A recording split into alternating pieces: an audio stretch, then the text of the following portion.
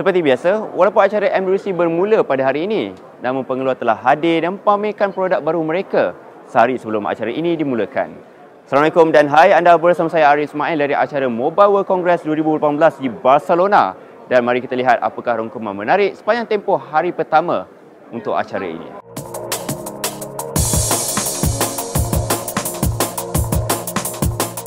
Huawei telah menampilkan komputer riba mereka iaitu MacBook X Pro dan juga tablet MediaPad M5 dalam dua versi saiz.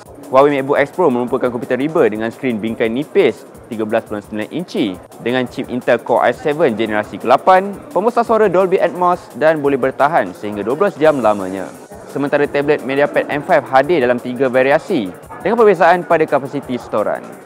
Jika tahun lalu HMD Global hadir dengan Nokia 3310, tahun ini mereka hadir dengan Nokia 8110 dengan nama julukan telefon pisang The Matrix.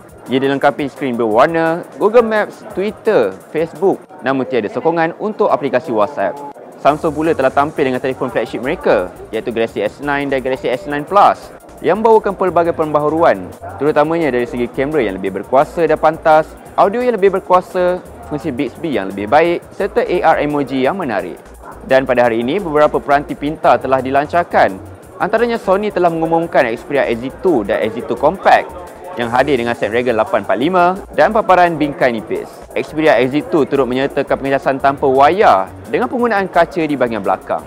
Wiko pula telah melancarkan Wiko View 2 dan View 2 Pro yang hadir dengan rekaan seumpama iPhone dari segi peletakan kamera dan takuk pada bahagian hadapan skrin dan juga mempunyai paparan skrin bingkai nipis. Jadi sekian sahaja dari saya Aris Ismail untuk rangkuman hari pertama di acara Mobile World Congress 2018 di Barcelona. Sehingga kita berjumpa lagi untuk video seterusnya.